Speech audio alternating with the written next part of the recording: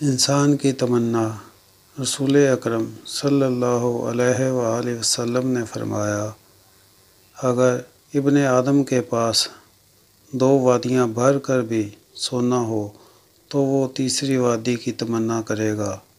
इसका पेट सिर्फ़ मट्टी से ही भरा जा सकता है।